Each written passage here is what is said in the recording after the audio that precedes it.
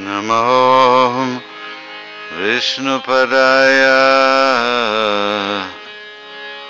कृष्णपृष्ठय भूतले। श्रीमते भक्ति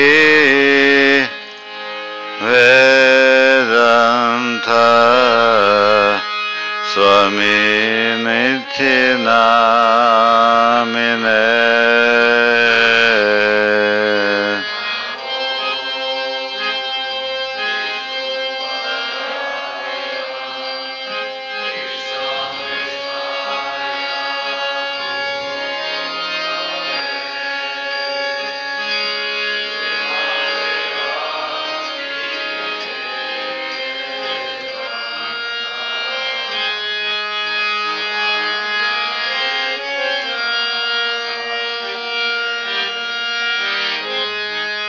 नमस्ते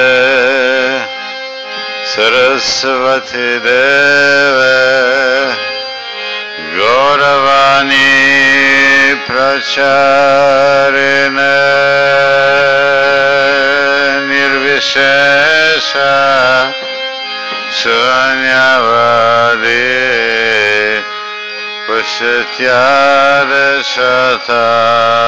पश्चादशतारिणे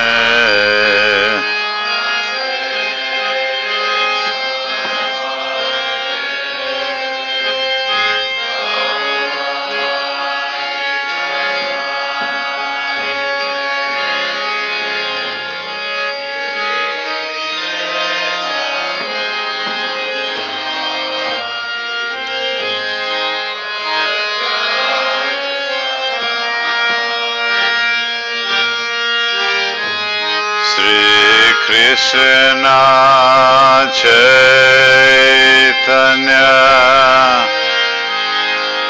प्रभु नित्यानन्द। श्री अद्वैत गदर शिवसरे गौरभक्तवृन्दा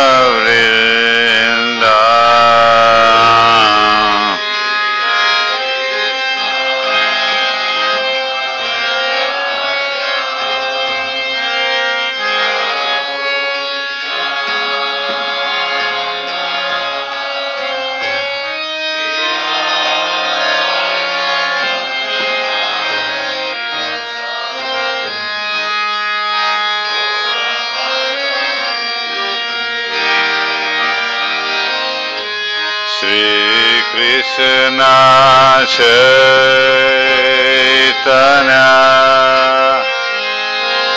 प्रभुनि चना श्री अद्वारार श्रीवसदे। गौरभक्तवृ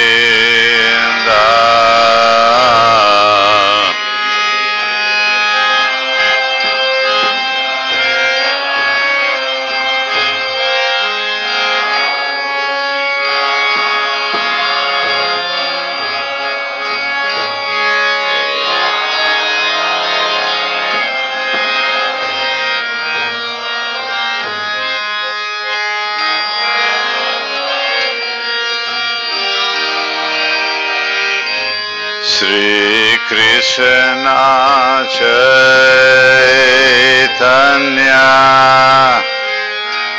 Prabhu Nityananda Sri Advaita Gadadhar Shivasari Gaura Bhakta Vrinda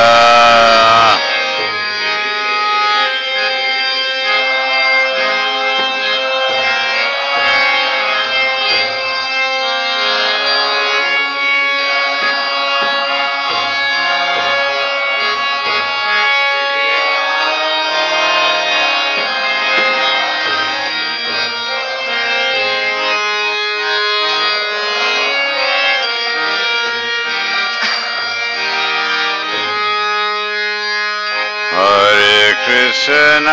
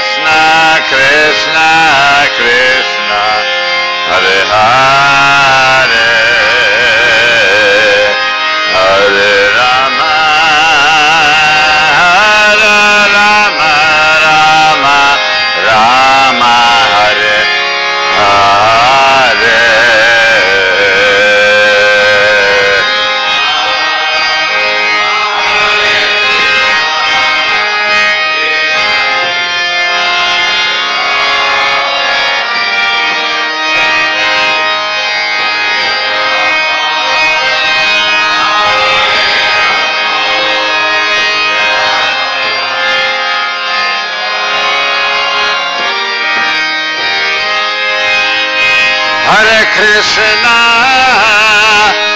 Hare Krishna, Krishna Krishna,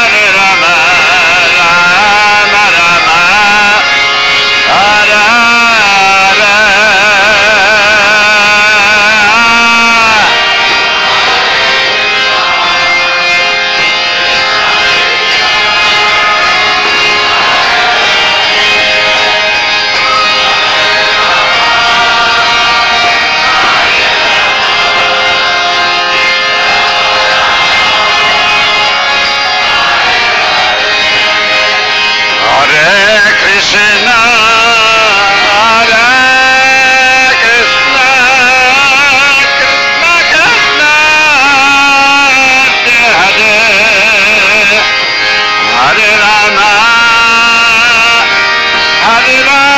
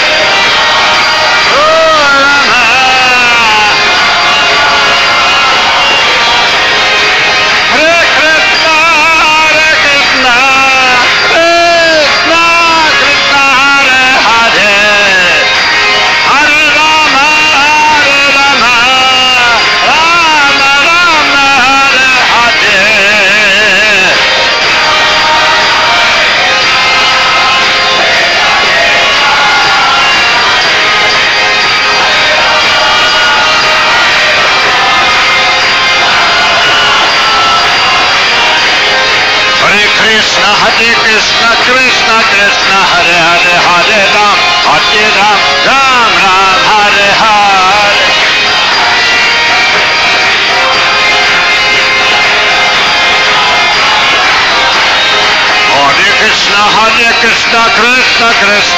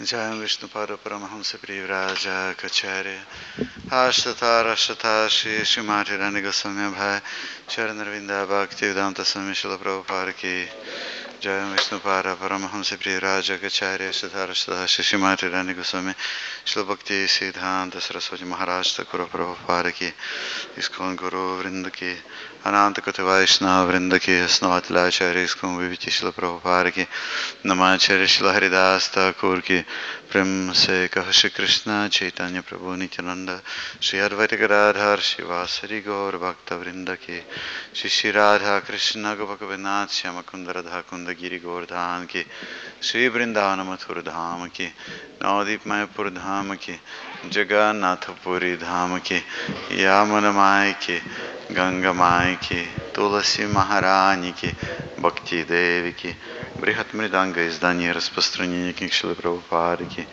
Гор Премананда. Слава собравшимся преданным, слава собравшимся преданным, слава всем собравшимся преданным. Джай Шиши, Гуру Гауранга.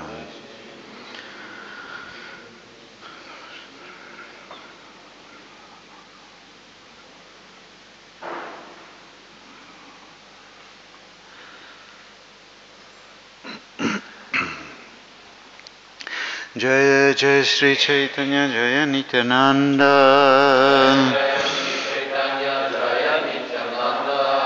जय द्वैत चंद्र, जय गौर भक्त वृंद। जय जय श्री चैतन्य, जय नित्यानंद।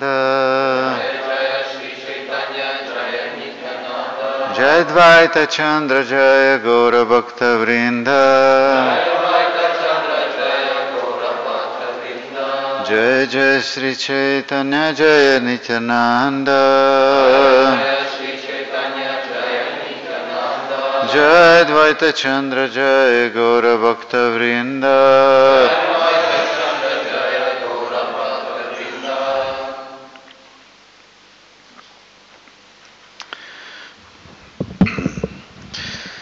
Шри Читан Чаритамрита отделила глава 16 игры Господа за отродство юности описывает, в частности, здесь упомянуто, тексты 50, вернее, 24-25. Мы читали до этого, как Господь Читани Махапрабху отправился в Восточную Бенгалию, и как он вернулся оттуда, и за это время его супруга Лакшми Деви покинула этот мир. И вот э, Чайтан Чаритамрита пишет, 24 текст. Повернувшись додому зі східної Бенгалії, Шрі Чайтання Махапрабху взявся знову вчителювати. Силою своєї освіти він перемагав усіх і тому держався дуже гордо. За якийсь час, наступний вірш, за якийсь час Господь Чайтаня одружився з Вішнупрією, богинею процвітання, і після того завдав поразки Кешеве Кашмірі, переможцеві всіх вчених. Мы читали уже о Кешеве Кашмире из Чайтани Чаритамрити и Чайтани Бхагаваты. а, вот. Но мы еще не читали, как Господь Чайтани Махапрабху одружился с Вишну Прией.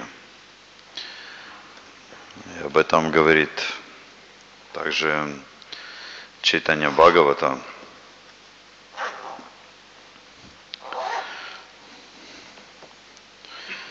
Адиканда.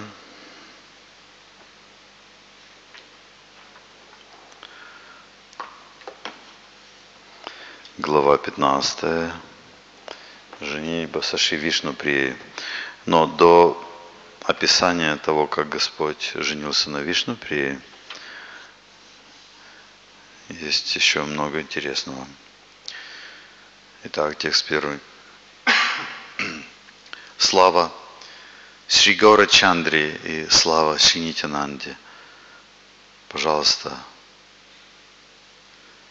да отдайте мне свои лотосные стопы, как милостыню моему сердцу. Красиво, да? Как? Милостыню. Чтобы сердце несло в себе это сокровище лотосных стоп Господа Чайтани, Господа Нитянанды. Он просит милостыню. Слава Шри Гауранги с его спутниками.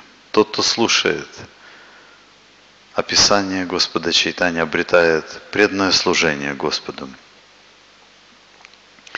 В то время как Господь оставался погруженный в свои схоластические игры, Он жил неузнаваемый, не проявляя себя никому.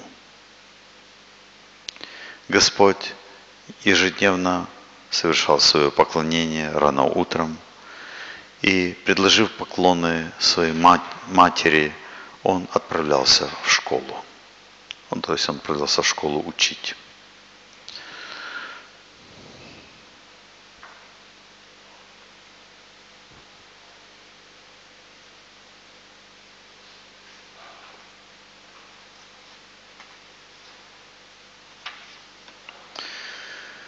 Текст пятый. Мукунда Санджая был слугой Господа на протяжении многих жизней. И его сын был известен как Пурушоттама Даса. Гаурачандра ежедневно отправлялся учить в дом своего, э, этого удачливого человека. Господь прибывал первый туда и садился на Чанди Мандапу. После этого постепенно туда прибывали его ученики, студенты.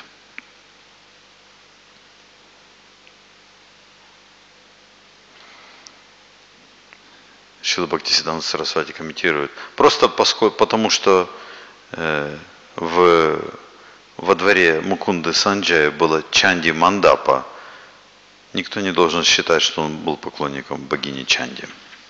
Не следует думать так. Во время этого периода иногда случайно кто-то из студентов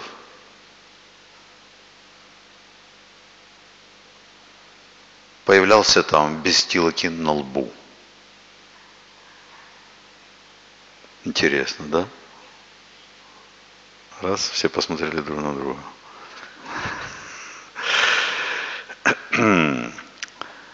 Слово, комментарий Шил Бхактистанты. Слово тилака относится, э, э, то есть относится к тому, к той личности, который инициирован э, и кто ставит э, вайшнавские знаки на 12 частях своего тела. Здесь перечисляется, где ставится тело, мы все знаем это.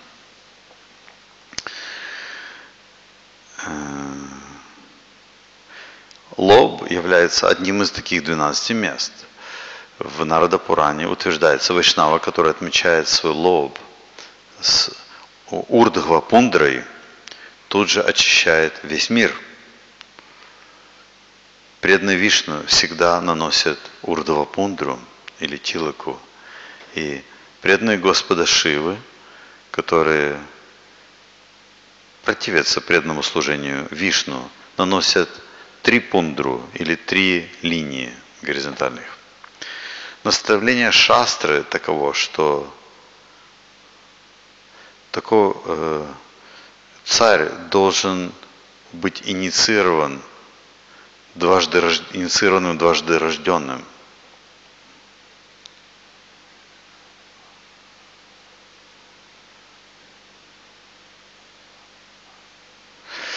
Человек, нет.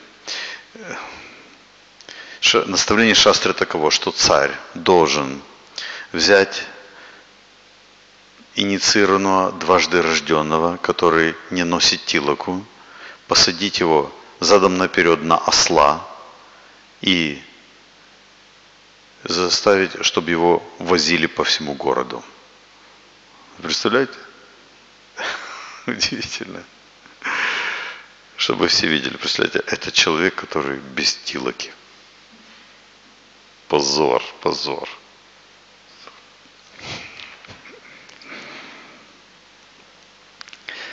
Поэтому каждый инициированный вайшнава должен всегда носить тилоку.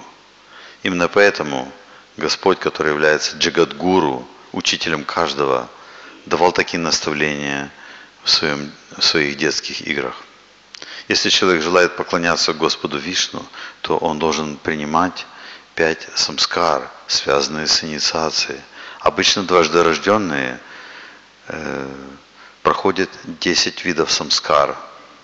Те, кто ниже, чем дважды рожденные, проходят 15 санскар для того, чтобы стать вайшнавами. Точно так же, как брамана обязан поддерживать иметь чистый браманический шнур, инициированный вайшнава обязан иметь шикху, браманический шнур, тилаку и малу. Имеется в виду кантхи, мало, прежде всего. Итак, что он должен иметь? Шикху, шнур, тилака и мало.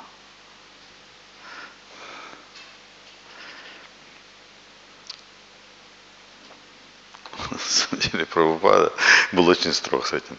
Он даже не был настолько строг с вайшнавской одеждой. Он говорил, в каких-то случаях вы можете носить не вайшнавскую одежду. Но шикха и тилока всегда должна быть. Удивительно. Ну, по крайней мере, если мы идем в храм, то обязательно. На даршин.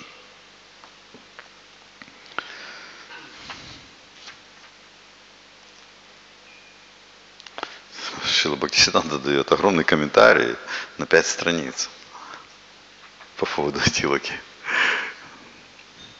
Харе Кришна. Но я не буду смущать вас этим. Э, Текст, следующий текст. Будучи самим проявлением, воплощением санатана дхармы, Господь утверждает принципы религии. Для того, чтобы защищать религиозные принципы людей, Он не терпел никаких нарушений.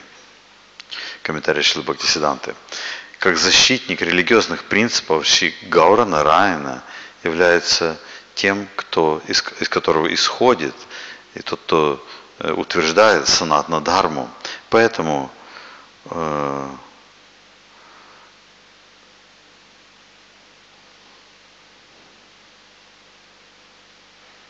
он э, не вводил принципы шудр, которые, э, которые даже не совершают кармаканду. Для того, чтобы учить людей, Господь никогда не нарушал ведическую кармаканду. Напротив, Он учил, что кармаканда незначительна и неблагоприятна для чистого преданного служения. Следующий текст. Когда такой нарушитель появлялся в тот же момент, Господь настолько позорил его, что этот человек уже никогда больше не приходил, не нанеся в начале, не совершив в начале утреннего поклонения. То есть имеется в виду, что в утреннее поклонение входит нанесение тилоки – то есть это означает, что человек посвящает свое тело Господу. Он должен повторить имена Господа и нанести знаки. И это считается частью утреннего поклонения. И Господь говорил, о брат, почему я не вижу никакой тилоки на твоем лбу? Каково твое объяснение? Веды утверждают, что лоб Брамана, который не украшен тилокой, так же хорош, как крематорий. Я, я могу понять, что ты не совершил утреннего поклонения. Поэтому, дорогой брат, твое утро совершенно бесплодно, бесполезно. Отправляйся домой и исполни утренние обязанности вновь. Затем ты можешь вернуться к обучению. Понимаете? То есть для чего это все делается? Если человек не способен поставить на такую, на такую простую вещь, как поставить тилоку, то он тогда не сможет научиться ничему более сложному. И он не сможет ничего сделать более сложного. То есть телка должна быть, хотя простые вещи. Все идет от простого к сложному. Если человек может делать простые вещи, он зарекомендовал себя как исполнительный в простых вопросах, тогда он сможет совершать что-то более сложное. И потом еще более сложное, и потом великое. Но если человек не может даже такие простые вещи делать, то он не сможет тогда сделать большего.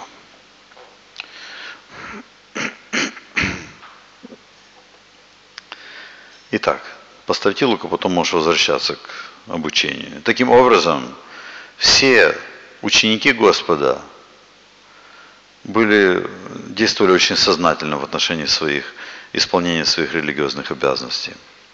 Таким образом, Господь шутливо находил недостаток в каждом. И никто не избегал дразнящих замечаний, ремарк Господа. Никто не мог избежать его дразнящих ремарк. Сичитание Махапрабху, тем не менее, никогда не шутил с женами других. Как только он видел, как какая-то идет женщина, то он тут же давал ей место, уступал, чтобы она могла пройти. И он не говорил с женщинами.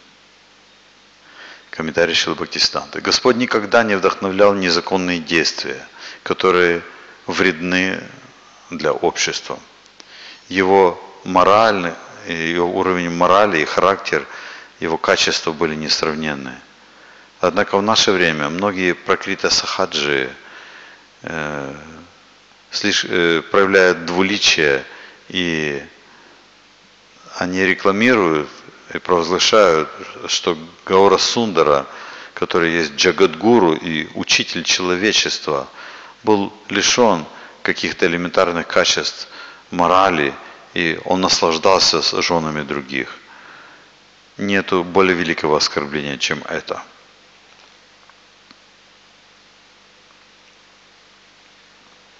Следующий текст. Господь, в частности, дразнил жителей Шрихатты, передразнивая их произношение. Комментарий Шлибхактисиданты. Поскольку провинциальные слова провинциалов и произношение их э, в Шимаяпуре Навадвипе, столице Гаудадеши, и Шрихатти, которая находилась на северо-восточной границе Восточной Бенгалии, были совершенно разными, то есть произношение и слова какие-то провинциальные Шрихати отличались от того языка, который пользовались в столице. И поскольку э, предки Господа также были из жителями Шрихаты, то это было естественно для Господа шутить и дразнить жителей Шрихаты, которые пришли в Навадвипу. Хотя Господь, казалось бы, дразнил их, э, обращаясь к ним как Шрихаты или Бангалы – тем не менее, это показывало его глубокую любовь к ним. В гневе они отвечали, а я? А ты откуда? Расскажи нам, скажи нам истину. Комментарий Шилбхакти Сиданты. впадая в гнев от этих шуток и издевок Господа, жители Шрихаты спрашивали о том, откуда его предки, откуда они пришли. И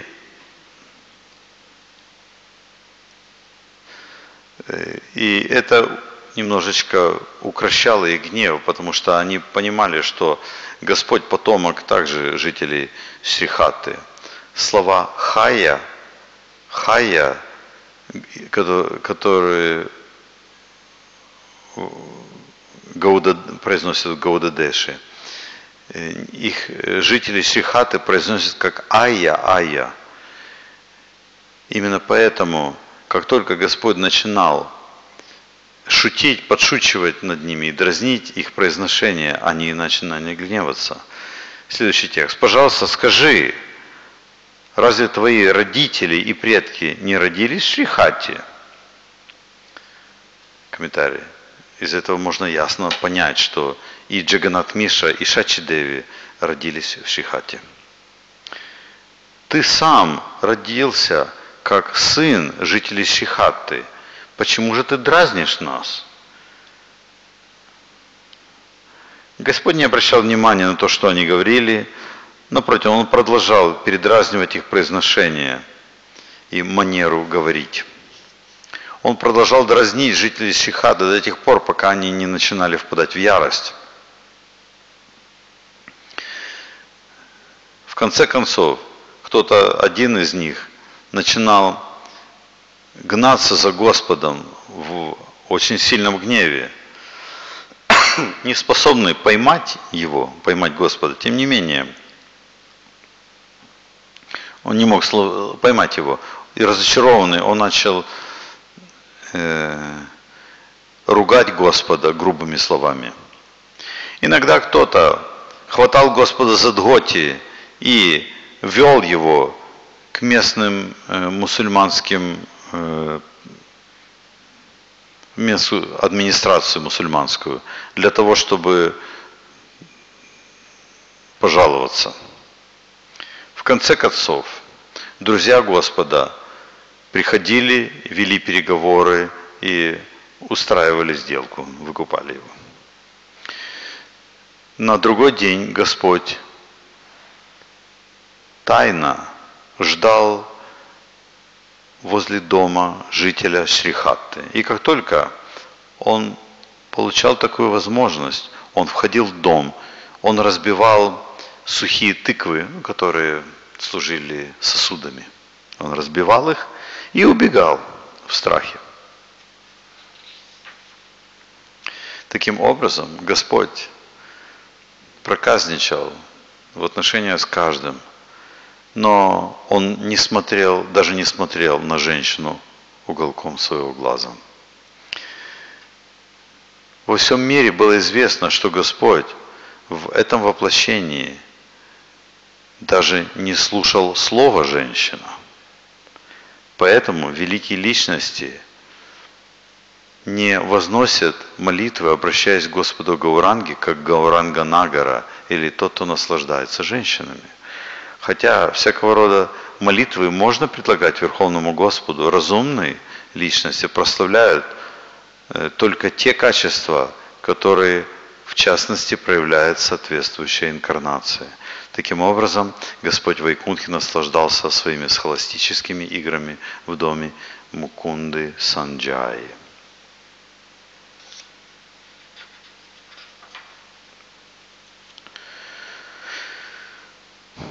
Господь счастливый учил, сидя в окружении групп своих студентов, учеников.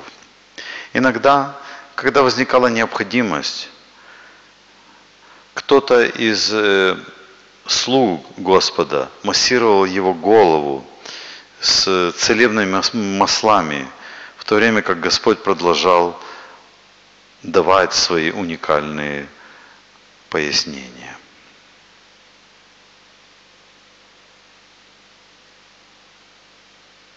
Господь, который был вместилищем трансцендентных качеств, учил с раннего утра до полудня. Затем он отправлялся на омовение в Гангу. Таким образом, Господь регулярно учил и изучал вплоть до полуночи. Поэтому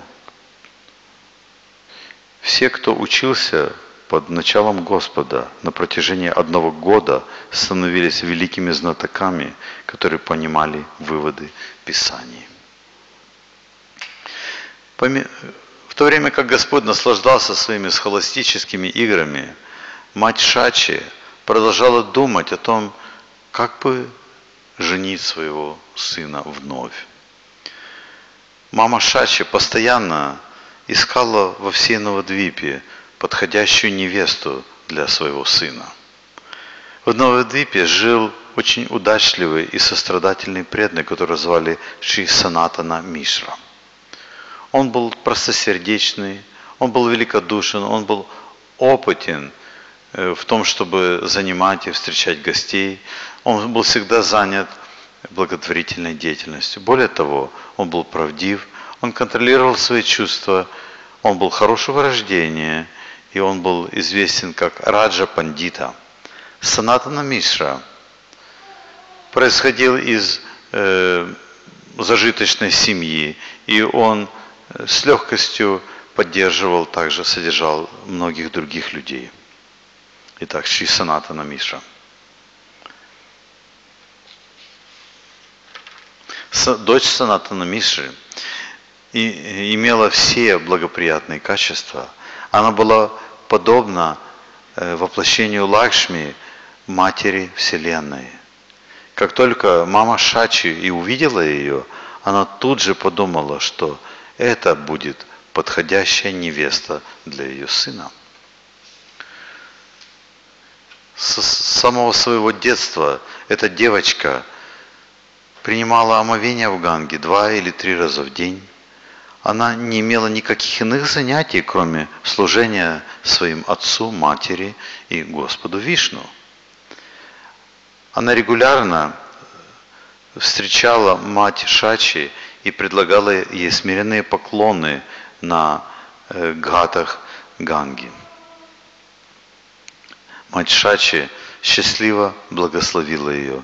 Пусть же Кришна благословит тебя подходящим мужем – когда мама Шачи омывалась, она подумала, пусть эта девочка выйдет замуж за моего сына. Санатана Мишра и его родственники также желали, чтобы она вышла замуж за Господа. Дальше интересное описание такое. То есть, похоже, у них было все очень, все очень регламентировано, и у них был семейный комитет, похоже. То есть у них были, так сказать, профессионалы в этих вопросах. Однажды, слушайте об этом, однажды Сачи, мама Шачи, вдохновилась на то, чтобы позвать Кашинатху Пандита к себе домой. Позвав его, когда он пришел, она сказала ему, дорогой господин, пожалуйста, выслушай мою просьбу. Комментарий Шилы Бхактисиданта. Кашинатха Пандита был матчмейкер, то есть э, житель Навдвипа, то есть он составлял браки. И он был драгоценностью, драгоценным камнем среди браманов. В играх Кришны он был брамана, который был послан к Кришне с предложением, чтобы Кришна женился на Сатябхаме. В Гаурагана Дешидипике утверждается брамана, которого звали Кулака, которого Махараджа Сатраджит послал Господу Мадhavi для того, чтобы устроить женитьбу Господа на Сатябхаме, явился в играх Господа Чайтани как Шри Кашинатха. Следующий текст. Мачачи сказала, пожалуйста, отправляйся и скажи Санатане Миши, что если он желает, то он может выдать свою дочь за моего сына. Кашинатха Пандита тут же ушел в дом Санатана Мишри, повторяя по дороге имена Дурги и Кришны. Видя Кашинатху, Санатан Мишра почтительно усадил его на асану. Чувствуя себя почтенным, Санатана Мишра – завершив все формальности, так сказать, встречи гостя, спросил, дорогой брат, что привело тебя сюда? Кашинатха ответил, у меня для тебя есть предложение. Если ты находишь его подходящим, то, пожалуйста, прими его. Пожалуйста, отдай руку своей дочери в браке Вишвамбаре Пандита – я чувствую, что это совершенное соединение, соеди, э, совершенный брак будет, совершенная пара. Э, он является квалифицированным мужем для твоей дочери, и твоя благочестивая, целомудренная дочь – квалифицированная жена для него. Вишнуприя и Нимай Пандита подходящая пара, точно так же, как Кришна и Рукмини были подходящими, подходящей парой. Услышав предложение, Снатна Миша обсудил его со своей женой и родственниками и узнал их мнение. Видите, как интересно. Какова, какова традиция? Как, как здесь вообще описывается? Здесь вообще не описывается. Спрашивала мама Шачи у Вишамабара своего сына или нет. Вообще об этом нет ни слова. То есть она просто, она начала выбирать, и она выбрала ему. И он просто, он не думал об этом, он, он просто женился. И когда э, пошли свататься, пошли сватать э, Вишнуприю, то Санатна Мишра тоже не, он не сказал, он сам не сказал, да, все, хорошо, я решил. Он сказал, я посоветуюсь со своей женой и со своими родственниками. Тоже интересно. Как все было устроено. Сейчас наоборот, правда? Человек все сам решает и ни с кем не советуется. Я имею в виду, решает, за кого выйти замуж или на ком жениться. Человек сам решает обычно. Ладно. Они ответили, родственники ответили. В чем необходимость в дальнейших обсуждениях? Ты должен немедленно устроить этот брак.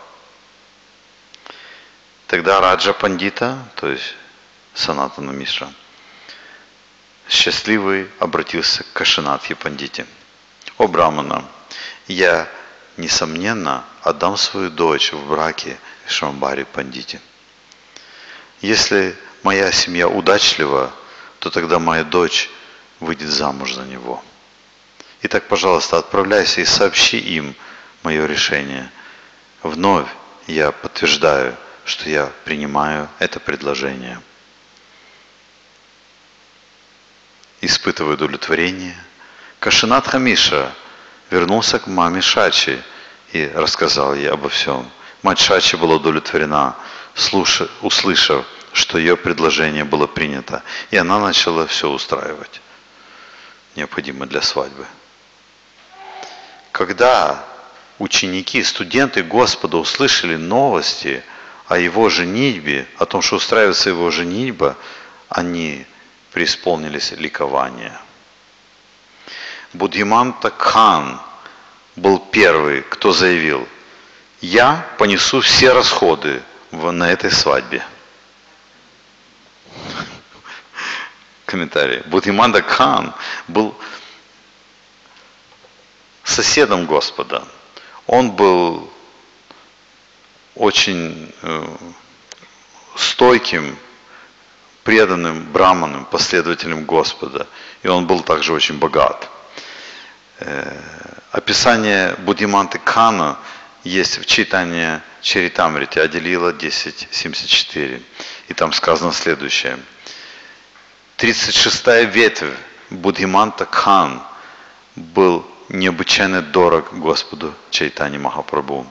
Он всегда был готов исполнять указания Господа, и поэтому он считался главным слугой Господа.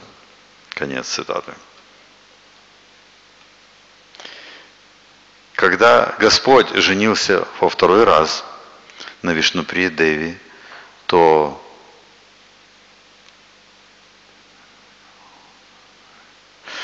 он, то есть Будиманта Кхан, э, оставался с э, женихом на протяжении всей свадьбы, свадебной церемонии, и он понес абсолютно все расходы, он оплатил все расходы на этой свадьбе. Это объясняется в Адикханде. Его участие в Санкиртане Господа в домах Шиваса Пандита и Чандрашекари описано в Мадьякханде. И тут описывается даже в каких э, лилах он участвовал вместе с Господом Бутиманда Хан. Интересно. Мукунда Саджай затем сказал, послушай, дорогой друг, если ты оплатишь все, что буду делать я Будиманта Кхан ответил, послушай, мой дорогой брат, эта свадьба не будет обычным, обычной брахманической свадьбой, которая обычно очень проста. Я все устрою таким образом для женитьбы Немая Пандиты, что он будет казаться принцем в глазах людей. То есть он победил, потому что он сказал, я богаче, попросту говоря. Я сделаю так, что все будет очень богато и красиво. Поэтому отдыхай. Харе Кришна.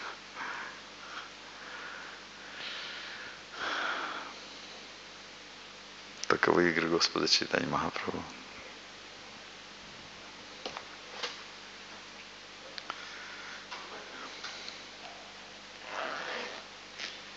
На этом можем остановиться. Да? Первый стих.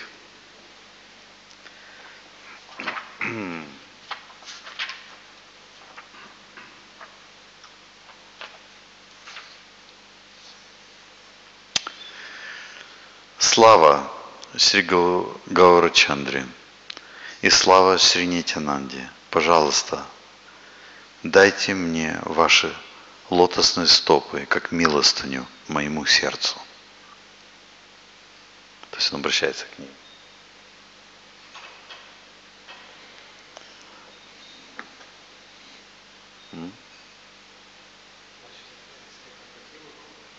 Значит, что?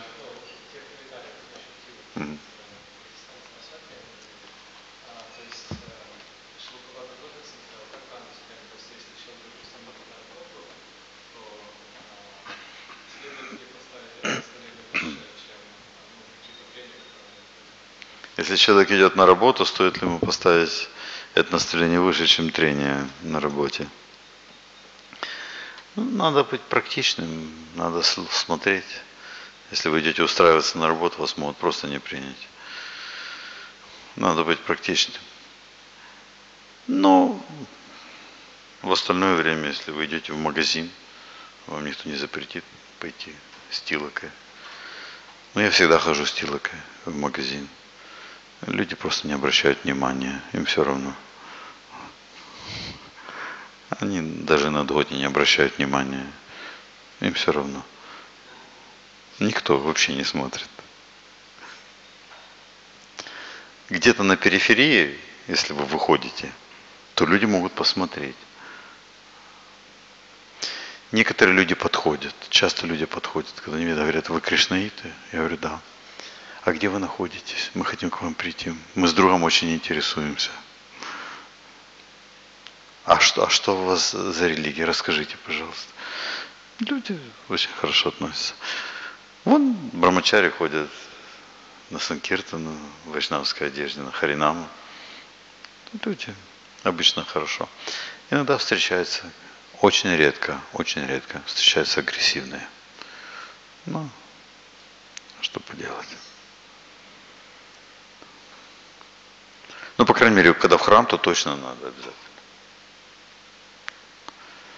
Я не могу, если я не поставил тилоку, у меня уже привычка, я умылся, сразу ставлю тилоку. Если вдруг, у меня такое бывает раз в году, например, что я, ну я просто умылся, ну лицо грязное, я умылся посреди дня. И я забыл потом поставить по новой на лбу тилоку. Потом я смотрю на себя вечером, боже мой, а тилока все равно есть потому что под солнцем выгорает. То есть что-то загорает, э, тело загорает, а тилока остается.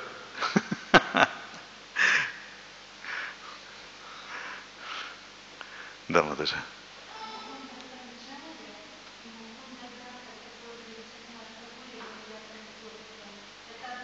Не, не, это разное.